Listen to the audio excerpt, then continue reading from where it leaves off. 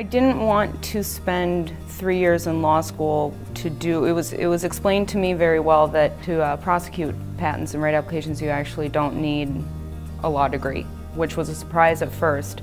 Um, I thought about all the, re I tried to devil's advocate um, all the reasons why I should get a law degree instead and I couldn't find, I was as sure as I could have been that I didn't want to litigate, ever.